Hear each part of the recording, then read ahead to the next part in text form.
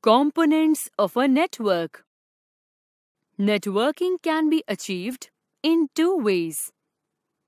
Wired networking. To implement wired networking, some hardware components are needed. Those are as follows. Network Interface Card Network Interface Card or NIC is also referred to as an Ethernet card and network adapter. It is an expansion card that enables a computer to connect to a network, such as a home network or the Internet using an Ethernet cable with an RJ45 connector. Networking ports and cables. Network cables are used to connect and transfer data and information between computers, routers, switches, and storage area networks. These cables are essentially the carrier or media through which data flows. The most commonly used is twisted pair cable, hubs, and switches.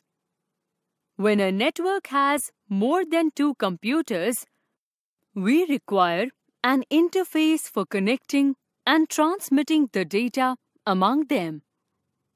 This is achieved through hubs and switches. Each computer on a network is connected to hub or switch through Ethernet cable.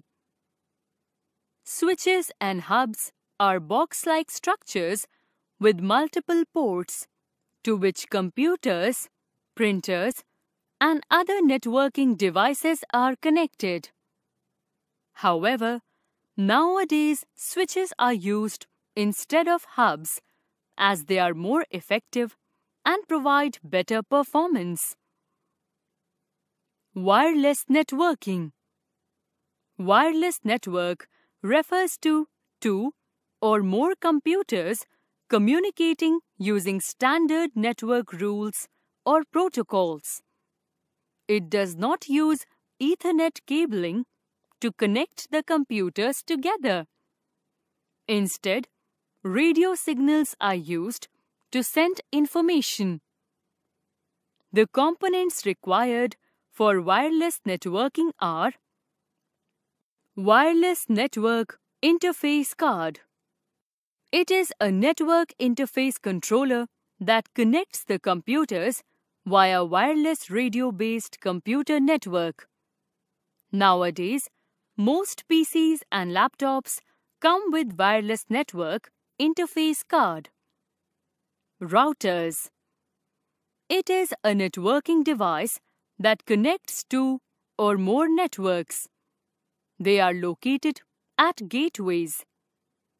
Its function is to determine the best way for a packet to be forwarded to its destination.